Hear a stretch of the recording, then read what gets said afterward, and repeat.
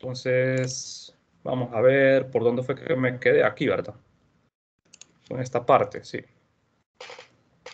Eh, entonces, ayer, ayer vimos eh, cómo, cómo se puede provocar una corriente inducida, ¿verdad? En un circuito cerrado. Se puede provocar por movimiento de, por cambio de un campo magnético en el tiempo, movimiento de un circuito, ya sea por traslación o rotación, por una deformación del circuito también, ¿verdad? En este caso, yo les dije que era el más importante de todo, ¿verdad? Porque esta es la forma en que se produce la energía eléctrica. Es eh, la rotación de una espira en un campo magnético uniforme. Bien. Eh, vamos a definir entonces el día de hoy lo que es la ley de Lenz. La ley de Lenz eh, es lo que me me ayuda a encontrar la dirección de la corriente inducida.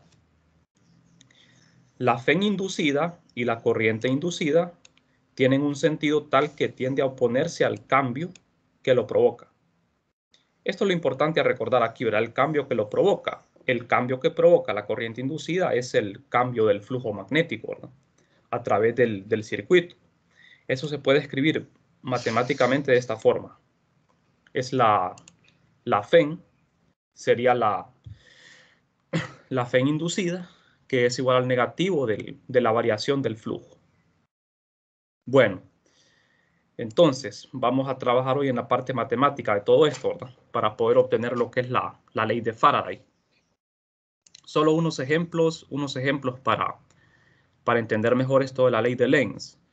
Yo tengo un imán de barra. Yo ya sé que el campo magnético apunta de norte a sur.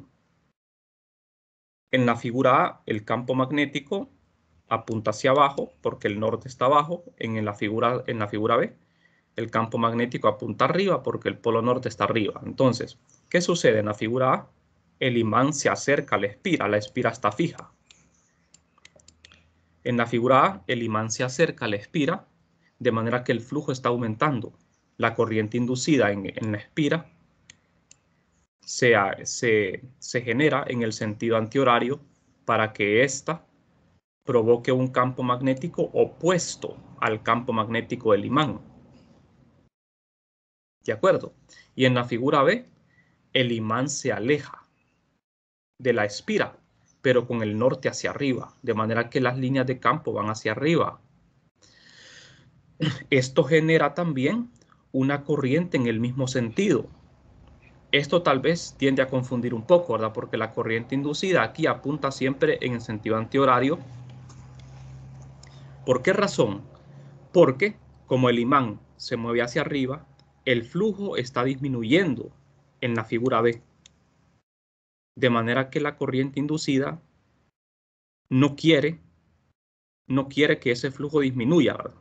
Entonces genera una, una corriente en sentido antihorario para que el campo magnético apunte en la dirección en que está cambiando el flujo. O sea que el, campo magnético inducido tiende a oponerse al cambio que lo provoca. O sea, no, no, no quiere que ni aumente ni disminuye. Eso es lo que, lo que, lo que me dice la ley de Lenz, ¿verdad? Si lo vemos desde otro punto de vista, acá tenemos, miren, corrientes inducidas que van al revés. ¿Por qué? Aquí en este caso, en la figura C, el imán se aleja, pero con el norte hacia abajo. El flujo, como ven ustedes, está entrando en esta superficie, pero está disminuyendo. Entonces la corriente inducida tiende a oponerse a esa disminución del flujo magnético, provocando un campo magnético que apunta hacia abajo. En la figura D, el imán se mueve hacia abajo, pero en este caso, ¿qué sucede? El flujo magnético está aumentando, está aumentando en esta superficie de la, de la espira, aumentando. Entonces, esto genera una corriente también en sentido horario y se opone al flujo que la provoca. Yo, entiendo que tal vez tengan bastantes preguntas, ¿verdad? Por ahora, porque esto es eh, bastante complejo para entenderlo, lo de la ley de Lenz. Eh, ya cuando uno hace problemas, uno va comprendiendo mejor las cosas, ¿verdad? Entonces no sé si, no sé si quedó claro esto o, o aún no.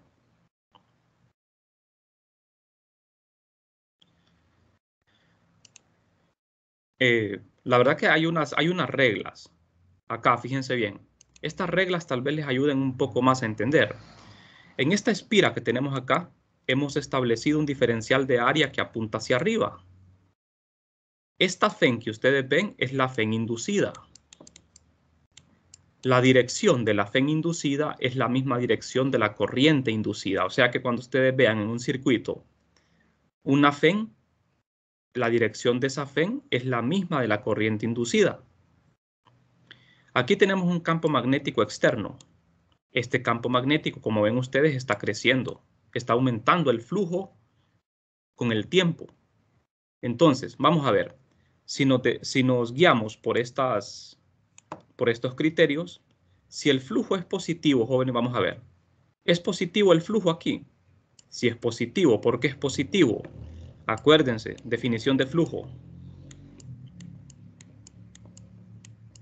El flujo magnético es la integral de superficie del campo en una superficie abierta. El producto punto acá es el que controla el signo de este flujo. Como ustedes pueden ver aquí, el ángulo phi formado entre el vector de área y el campo magnético externo es menor que pi medios, por lo tanto el coseno de ese ángulo es positivo. El flujo es positivo. ¿Qué sucede? El flujo está aumentando o disminuyendo. El flujo está aumentando en el tiempo. La derivada se está haciendo positiva. Es positiva la derivada. Entonces, cuando el flujo es positivo y cuando la derivada del flujo respecto al tiempo es positiva, la FEN va a ser negativa y la FEN va a tener sentido contrario a los cuatro dedos. Fíjense bien, el pulgar apunta en la dirección del diferencial de área. Los cuatro dedos van en la dirección de phi positivo. Entonces, cuando, cuando la FEN sea negativa, la FEN va a tener la dirección opuesta a los cuatro dedos. ¿Por qué la FEN es negativa, jóvenes? Porque ya vimos que la FEN inducida es igual la ley de Faraday al negativo de la derivada del flujo respecto al tiempo. Si esta derivada es positiva, la FEN es negativa. Si la derivada es negativa, la FEN es positiva porque menos por menos es más. ¿Estamos? Entonces, como la derivada aquí es positiva, me queda que la FEN es negativa. Entonces, cuando la FEN sea negativa, la FEN va a tener la dirección opuesta a los cuatro dedos en este caso. ¿Estamos? Otro punto de vista.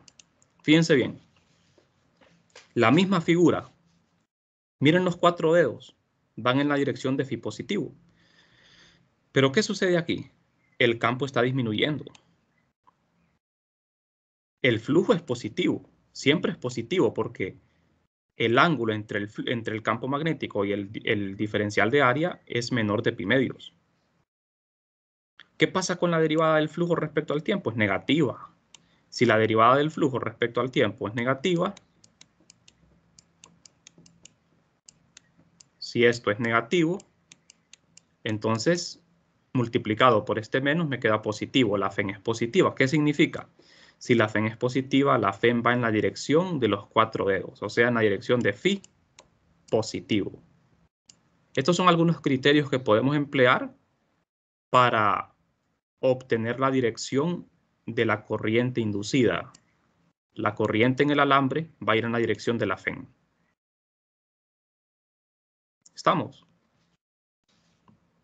¿Qué pasaría en otro caso? Por ejemplo, fíjense acá. Fíjense en esta figura. La figura es la misma. El diferencial de área, el mismo. Los cuatro dedos van en phi positivo siempre. Pero en este caso el campo va hacia abajo. Y el campo está creciendo. El flujo en este caso es negativo. ¿Por qué? Porque el ángulo phi entre el diferencial de área y el campo es mayor de pi medios. Coseno de un ángulo mayor de pi medios es negativo. Por eso el flujo es negativo. y la variación del flujo respecto al tiempo es negativa. Es negativa. De manera que la FEN es positiva. ¿Estamos, jóvenes? ¿Por qué es negativo este? Por la, por la dirección, porque nosotros, fíjense bien en, la mano derecha. Positivo, el, el pulgar indica la dirección positiva, en este caso Z positivo el campo magnético va en la dirección de Z negativo. El flujo está disminuyendo y se está haciendo cada vez más negativo.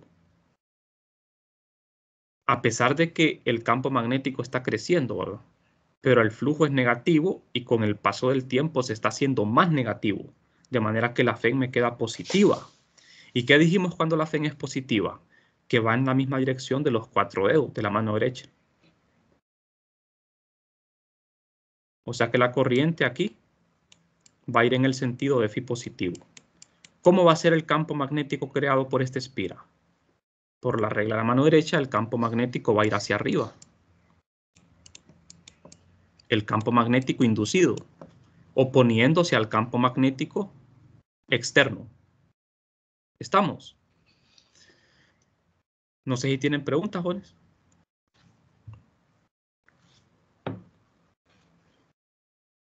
Está claro, Bien, ya, ya para finalizar con esto la ley de Lenz, vamos a ver, la última. En esta figura el único cambio es que B está disminuyendo. El campo magnético apunta hacia abajo, pero está disminuyendo. Entonces, el flujo siempre es negativo. Pero la derivada del flujo respecto al tiempo es positiva. ¿Por qué? Porque el flujo se está haciendo cada vez menos negativo porque está disminuyendo. Entonces, si, la derivada del flujo es negativa, la FEN queda, negativa. quiero decir al revés, perdón. Si la derivada del flujo es positiva, la FEN queda negativa. Entonces la FEN iría en sentido contrario a los cuatro dedos. Fíjense bien que esto, por eso la ley de Lenz lo dice, ¿verdad? La corriente en el alambre va a provocar un campo magnético hacia abajo. el campo magnético externo va hacia abajo, pero está disminuyendo. Entonces el campo de la espira no quiere que disminuya. Entonces crea un campo que se opone a esa disminución. Si el campo estuviera aumentando, se genera un campo que se opone a que aumente. Y si está disminuyendo, también se opone a que disminuya. O sea que la corriente inducida trata de que las cosas queden iguales que las cosas se mantengan constantes. ¿Estamos? Bueno, entonces vamos a retomar esto de la ley de Lenz más adelante, ¿verdad? Porque en todo el capítulo vamos a hacer cálculos basados en la ley de Lenz.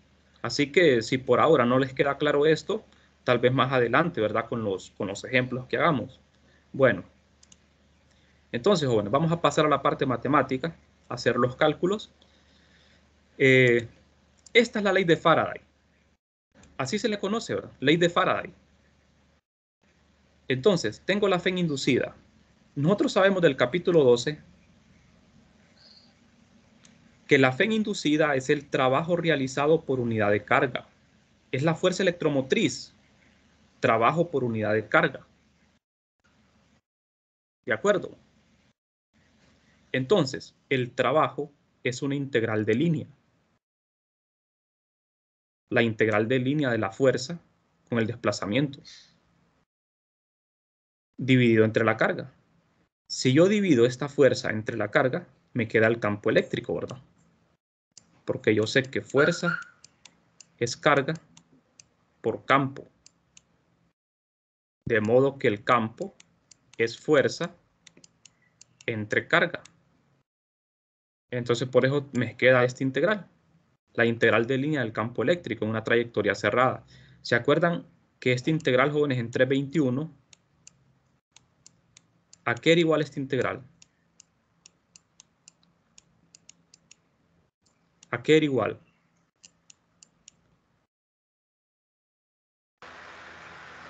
A la diferencia potencial. Eh, sí, a la diferencia potencial, pero cuando la trayectoria era abierta. Pero cuando la trayectoria es cerrada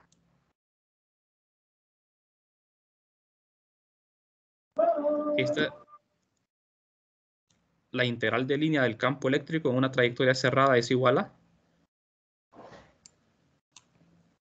es igual a cero. Esto significa que el campo es conservativo, ¿verdad? Pero el campo electrostático. Fíjense aquí entonces en 4.15. Estamos contradiciendo esta ecuación. Porque aquí esta ecuación, esta integral ya no es cero. Fíjense bien, es la misma integral. Y ya no es cero, es igual a la FEN. Entonces, aquí las cosas son totalmente diferentes, ¿verdad? Porque entre 21 las cargas estaban en reposo, se cumplía esta ecuación.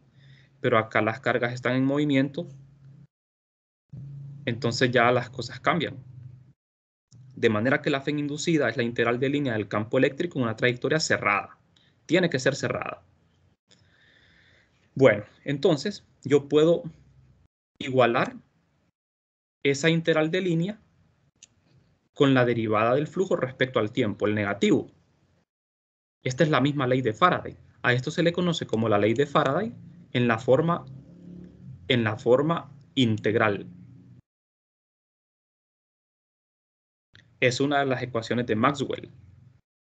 El campo eléctrico en cualquier punto del, del espacio puede expresarse como una parte conservativa y una no conservativa. Fíjense bien, este campo, este campo eléctrico que, que ustedes ven acá, es un campo no conservativo, porque si fuese conservativo, se tendría que cumplir que fuese igual a cero la integral, ¿verdad?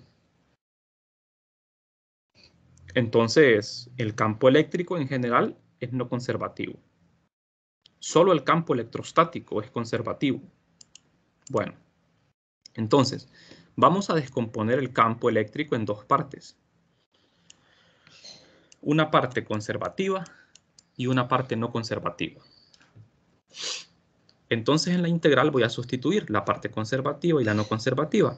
La parte conservativa es 0. Esto es 321, cargas en reposo, ¿verdad? Bueno, ya que el campo electrostático es conservativo, entonces ocurre esto. Ahora, poniendo simplemente el campo eléctrico, ya sabemos de que este campo es no conservativo. Ustedes en el libro van a ver que le colocan una NC, ¿verdad? No conservativo. Eh, entonces, bueno, el flujo, el flujo magnético ya sabemos que es la integral de superficie de B punto DA. Entonces, este flujo, miren, es este mismo. Lo sustituimos y me queda esta integral, miren. La derivada con respecto al tiempo de la integral de, superficie de B, que es el flujo magnético. Pero en una superficie abierta.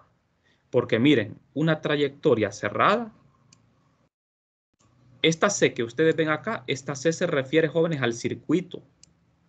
Esta C de la integral es el circuito que tiene que ser cerrado. Un circuito cerrado define una superficie abierta, que es esta superficie S. ¿Estamos? O sea que el campo, el campo no conservativo es el campo que se genera en el circuito cerrado. Hay un campo no conservativo. Y la superficie comprendida por ese circuito es la superficie en donde se calcula este flujo, que está variando con el tiempo. Entonces, esta es la forma final de la ley de Faraday en función de los campos. Ahora, aquí nos detenemos porque tenemos dos casos. Para medios estacionarios y para medios en movimiento. Tenemos que analizar. Vamos a ver. Tenemos que analizar esta ecuación para medios estacionarios y después para medios en movimiento. Cuando los medios son estacionarios, significa que el circuito el circuito va a estar en reposo. Y el campo magnético se va, va a ser variable. Cuando el medio esté en movimiento, el medio es el circuito. Significa que el circuito se va a mover y el campo magnético puede estar estacionario. Entonces, comencemos con el primer caso, que es para medios estacionarios. Vamos a ver. Medios estacionarios. La curva C, que representa el circuito, está en reposo. De modo que el flujo solo puede cambiar si el campo magnético es variable en el tiempo. Y un campo magnético variable tiene que ser función de R y T.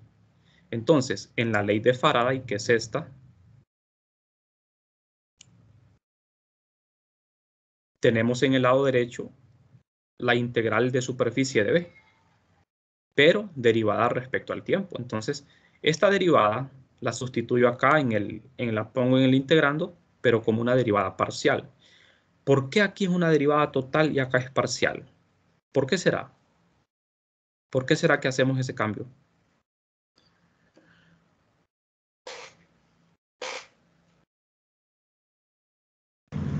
Porque en la total solo depende del tiempo y en la parcial también depende de la posición. Sí, ¿verdad? Exacto, porque el campo depende de dos variables, de R y T. Por eso tiene que ser una, derivada parcial respecto al tiempo. Entonces, aquí tengo la derivada parcial de B respecto al tiempo. Ahora, empleamos el teorema de Stokes. Para escribir el lado izquierdo de esta, de esta ecuación, el lado izquierdo que es esto, lo escribimos como una integral de superficie. Fíjense bien. Este lado izquierdo lo convertimos en esto, miren. Por el teorema de Stokes. Esta integral es de línea, la convierte en una integral de superficie del rotor de E en una superficie abierta. Entonces, es esto lo ponemos en el lado izquierdo y lo igualamos a esto. Y ya lo tengo, miren. En ambos lados tengo una integral de superficie. Entonces, yo puedo agrupar todo esto en un solo lado, porque es una integral de superficie. Metemos todo aquí entre paréntesis. El argumento tiene que ser igual a cero para que esto se cumpla. Entonces, como el argumento, quiero decir, el, integrando, tiene que ser igual a cero, despejo para el rotor de E y el rotor de me queda de esta forma. Y aquí hemos obtenido la primera relación que existe entre campo eléctrico y magnético. Es la famosa ley de Faraday. Como ustedes ven, entre 21 nos decían que el rotacional de E era cero. Pero esto solo es cuando el campo es electrostático, cuando las cargas están en reposo. Pero ya, cuando las cargas están en movimiento, esto no se cumple, ¿verdad? Esto es diferente de cero. Entonces, esa ecuación de 321 ya no nos sirve la tenemos que cambiar por esta, la ley de Faraday. ¿De acuerdo? O sea que la ley de Faraday sustituye esta ecuación de 321. Y es simple porque fíjense bien. Cuando el campo magnético es constante en el tiempo, la derivada es cero y me queda la misma ecuación de 321. O sea que la ley de Faraday solo aplica cuando el campo magnético esté variando en el tiempo. Bueno, entonces esta fue la primera conexión entre estos campos. De manera que no son independientes, ¿verdad? El campo depende uno del otro. Ahora, tenemos la ley de Faraday, que es una de las ecuaciones de Maxwell. La ley de Faraday la podemos escribir de dos maneras, ¿verdad? En forma integral y en forma diferencial. Esta sería la forma diferencial, que es una ecuación diferencial, y la forma integral que sería esta, ¿verdad? La que, bueno, la forma integral es, la forma integral es la primera que vimos.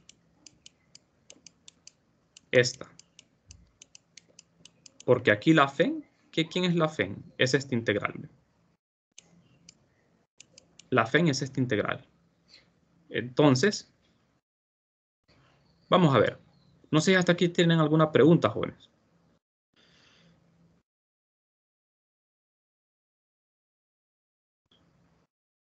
Bueno, continuando. Tenemos la divergencia de B, que es igual a cero. Y tenemos que B es el rotor de A. Entonces, en la ley de Faraday, yo puedo reemplazar B por el rotor de A. Y aquí el operador, el operador derivada lo puedo aplicar sobre el, sobre el vector A, ¿verdad? Se puede escribir así. Entonces, Juan, vamos a ver. Yo puedo pasar este término al lado izquierdo y factorizar el operador de él, así como lo ven. El rotor de E más la parcial de A respecto al tiempo igual a cero. Entonces, para que esto sea cero, el argumento de, este, de esta operación, que es esto, tiene que ser igual a cero.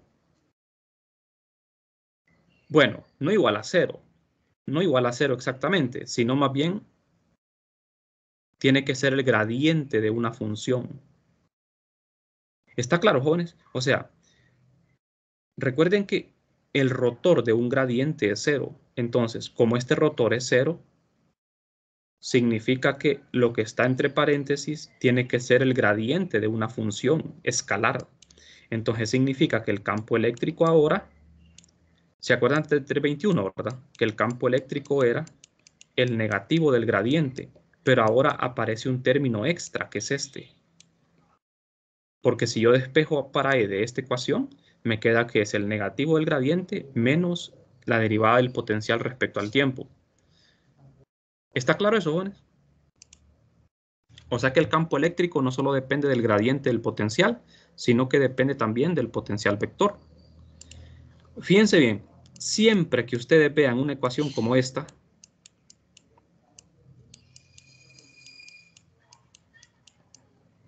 siempre que ustedes vean esto, ¿qué conclusión sacamos? Siempre que el rotor de un campo sea cero, ¿qué conclusión sacamos de aquí? ¿Que es conservativo? Sí, esa es una. Pero también Ah, que F tiene que ser el gradiente de un escalar.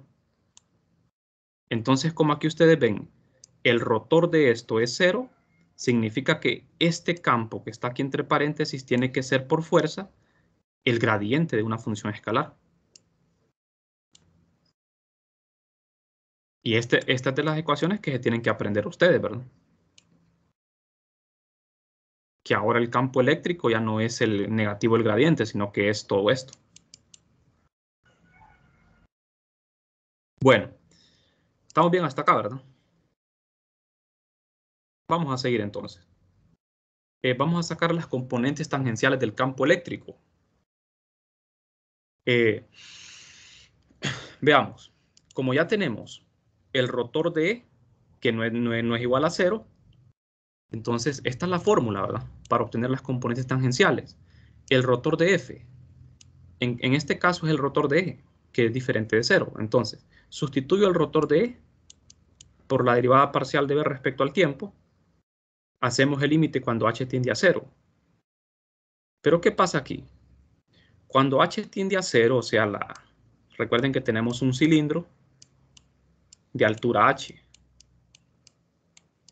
en una capa de transición, ¿verdad? Cuando h tiende a cero, este cilindro se reduce a una superficie. Entonces, cuando h tiende a cero, la derivada parcial de b respecto al tiempo también tiene que tender a cero, porque el campo b no, es infinito. También tiene que hacerse cero. De manera que, ¿qué, qué conclusión sacamos de acá? De que las componentes tangenciales del campo son continuas, siguen siendo continuas, porque en 321 eran continuas. Y aquí siguen siendo continuas.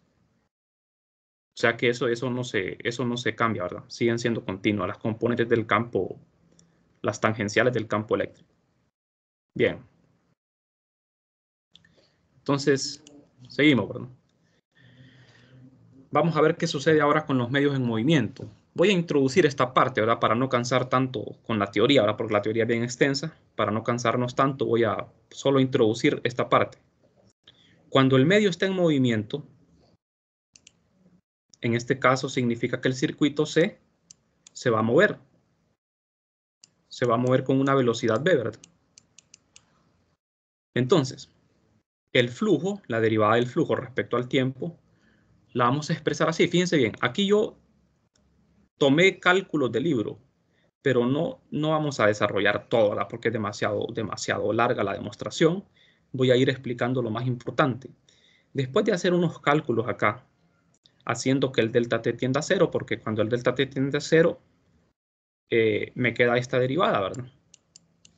Entonces, en la integral esta aparece el campo magnético dependiente del tiempo y el diferencial de área también dependiente del tiempo, porque está, este diferencial va a estar variando en el tiempo, ¿verdad? el diferencial de área. Entonces, jóvenes, después de hacer unos cálculos, nosotros podemos llegar a esto, miren, ya saltándonos esos pasos, ¿verdad? Porque el objetivo no es que se aprendan todo esto, ¿verdad? Esto no, no, no, no lo tienen que aprender. Eh, después de hacer cálculos para medios en movimiento, llegamos a que la derivada del flujo resulta en dos integrales. La primera integral contiene la variación del campo magnético respecto al tiempo y la segunda integral contiene la velocidad del medio, que es el circuito C. Es el producto cruz del campo magnético externo con la velocidad del medio. Recuerden, esta velocidad que ven aquí es la velocidad con que se mueve el circuito, que puede ser rotación o traslación. Entonces, si esta velocidad, si el circuito está en reposo, la velocidad es cero y me queda la ley de Faraday tal y como la conozco. Entonces, ¿qué sucede acá? Vamos a ver. El segundo término es el que resulta del movimiento del medio, ¿verdad? Entonces aquí vamos a hacer una distinción. Vamos a ponerle una prima a la FEN, así. Porque esta es la FEN de movimiento, para medios en movimiento. Entonces, para medios en movimiento tenemos que la integral es la integral del campo eléctrico de movimiento. También está primado. Lo igualamos al lado derecho. Aquí es un signo más. Aquí no es igual, aquí es un más. Entonces, vamos a ver, tenemos los dos términos acá. Bueno, aunque aquí era un signo, aquí era un signo menos. Aquí es un menos, no es un más. Ese menos lo quitamos y lo pasamos a un más porque le dimos vuelta al, producto cruz, ¿verdad? En vez de B cruz, cruz V, ponemos UV cruz B. Y cambiamos el signo, me queda positivo. ¿De acuerdo? Entonces, por teorema de Stokes, nosotros podemos escribir esta integral así, como una integral de superficie. Entonces, haciendo ese cambio, las tres integrales que ustedes ven, bueno, dos de ellas, perdón. Estas dos son de superficie y esta es de línea. Ahora, ¿qué va a pasar acá? Vamos a ver. Fíjense bien. Las dos integrales que son de superficie las agrupamos en el lado izquierdo y en el lado derecho dejamos la integral de superficie. Quiero decir, vamos a ver. Aquí creo que olvidé un paso. Esta integral también la cambiamos a una de superficie mediante el teorema de Stokes. ¿Cómo lo hacemos? Bueno, simple. Fíjense en el teorema de Stokes. ¿Qué es esto? Esta es una integral de línea. La cambiamos por una de superficie. Pero aquí el vector es b cruz b. Entonces la integral de superficie sería el rotor de b cruz b. Punto DDA. Así. Usando el teorema de Stokes para que todas las integrales queden como integrales de superficie. ¿De acuerdo? Eso fue lo que hicimos. Entonces, ahora pasamos dos integrales al lado izquierdo y dejamos esta integral en el lado derecho. Entonces aquí, jóvenes, ve justo lo que hicimos. Miren, el, operador Nabla actuando en el campo primado y el operador Nabla también actuando en el producto cruz de B cruz, cruz B. Este signo menos aparece porque yo lo pasé al lado izquierdo, ¿verdad? Ahora bien, las cantidades primas son aquellas que serían observadas por alguien en el sistema en movimiento y en reposo respecto a él. De modo que se cumple esto. Vamos a ver, aquí la velocidad es la velocidad con que se mueve el medio. El campo magnético es externo al circuito y esta es la derivada de B respecto al tiempo. Entonces, estas cantidades son medidas por un observador estacionario. Vamos a considerar la fuerza sobre una carga puntual en movimiento para poder hacer un cálculo que lo necesitamos. No sé si hasta el momento tienen alguna duda, jóvenes. Esta ecuación no tiene un nombre en especial. Esto solo es parte del cálculo que estamos haciendo.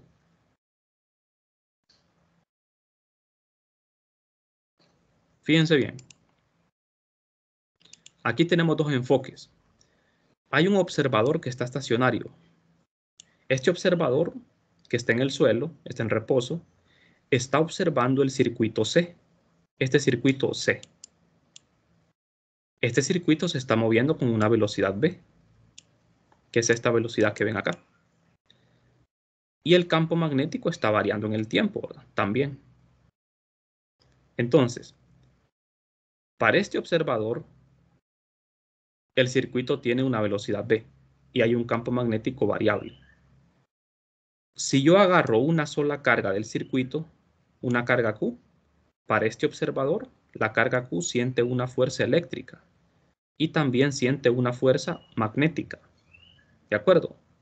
O sea que el observador que está en reposo dice que sobre esta carga actúa dos fuerzas, la fuerza eléctrica y la fuerza magnética. ¿De acuerdo? Para el observador en reposo. Pero ¿qué sucede para el observador que se está moviendo junto con la espira? Este observador está en movimiento, está parado sobre el circuito. Para este observador, esta carga Q siente únicamente fuerza eléctrica, no siente fuerza magnética. ¿Por qué? Porque para este observador, la carga Q no tiene velocidad. Porque este observador se está moviendo, pero en el circuito. O sea que para este observador, esta carga está en reposo con respecto a él. Es como cuando ustedes van en el interior del carro, ¿verdad? Cuando ustedes van en un carro, todo lo que está dentro del carro para ustedes está en reposo, pero para alguien que está afuera está en movimiento. Entonces, para este observador, que está en movimiento junto con el circuito, la carga está en reposo. O sea que solo siente fuerza eléctrica. Entonces, lo que queremos hacer con estos dos enfoques es demostrar que la ley de Faraday se cumple en cualquier marco de referencia, ya sea para un observador estacionario o un observador en reposo. Queremos demostrar que la ley de Faraday es la misma. ¿Cuál es la ley de Faraday? queremos demostrar que esto, esta ecuación, se cumple igual para cualquier observador. ¿Estamos? Entonces, vamos a ver. Aquí tenemos los dos sistemas inerciales.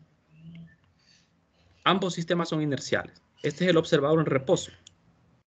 Este es el observador en movimiento en el circuito. Entonces, como los dos sistemas son inerciales, se cumple la segunda ley de Newton. Recuerden, ¿qué es un sistema inercial? Es un sistema donde se cumplen las leyes de Newton. Es un sistema donde se cumplen las tres leyes de Newton. Entonces, como los dos sistemas son inerciales, las fuerzas sobre la carga que describe el observador, el observador en reposo y el observador en movimiento esas fuerzas son iguales, porque el mar, los dos marcos son inerciales. Entonces, la fuerza que está en el lado izquierdo es la que observa el observa, eh, la que mira al observador en reposo y la fuerza del lado derecho es la que describe el observador en movimiento. Entonces, ambas fuerzas deben ser iguales. Al igualar estas dos ecuaciones, ¿qué obtenemos a partir de eso? Veamos conocemos los dos puntos de vista. Observador estacionario, observador en movimiento. Entonces, E' es el campo en el sistema en movimiento. Y lo que no está primado es el, el observador estacionario. ¿De acuerdo? Al igualar ambas ecuaciones, se cancela la carga Q y me queda esto. Aquí hemos llegado a que el campo primado es igual a esto. Ahora bien, jóvenes, recordemos la ecuación que obtuvimos antes para medios en movimiento. Esta es la, la, ecuación de medios en movimiento, es la ley de Faraday de medios en movimiento. Pero ¿qué pasa si yo sustituyo este E primado acá? ¿Qué pasa si lo hago? Al sustituir ese campo prima ahí en esa ecuación, me queda E más B, cruz B, menos B, cruz B. ¿Qué pasa aquí? Se cancela esto y me queda esto igual a esto. ¿Y qué hemos demostrado? Hemos demostrado que la ley de Faraday es la misma para medios estacionarios y medios en movimiento. O sea que no importa que el, que el no importa de qué marco de referencia ustedes observen, observen el sistema, la ley de Faraday se cumple igual. ¿De acuerdo? Hemos analizado esto para bajas velocidades, ¿verdad? No, aquí no estamos hablando de relatividad porque estamos considerando que los movimientos, las velocidades son pequeñas comparadas con la velocidad de la luz. ¿De acuerdo? Entonces, esa es la conclusión importante aquí. Esa es la conclusión importante, miren. Que la ley de Faraday es independiente del movimiento del medio. Estos resultados son válidos para velocidades menores a la de la luz. Los términos que dependen de la velocidad se llaman términos de movimiento y los que dependen de la variación del campo se llaman términos de transformador. Hay que aprenderse esto. Términos de transformador, términos de movimiento. Bueno, creo que por hoy es suficiente teoría, ¿verdad? Esto es bastante cálculo. Como les digo, no es necesario que ustedes se aprendan las demostraciones pero es bueno que sepan de dónde sale, ¿verdad? Entonces, ya tenemos la famosa ley de Faraday. O sea que las ecuaciones jóvenes de 321, la divergencia de esa ecuación no se modifica. Pero esta, el rotor de E, se modifica. Ahora es la ley de Faraday. Estas serían las dos ecuaciones fuente del campo eléctrico. O sea que el campo eléctrico tiene, puede tener fuentes escalares o puede tener fuentes vectoriales, que son campos magnéticos variables.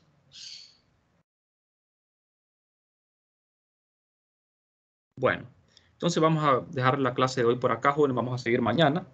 Vamos a revisar algunos ejemplos para que podamos tener más claro estos conceptos. Bien. Entonces, nos quedamos por aquí el día de hoy.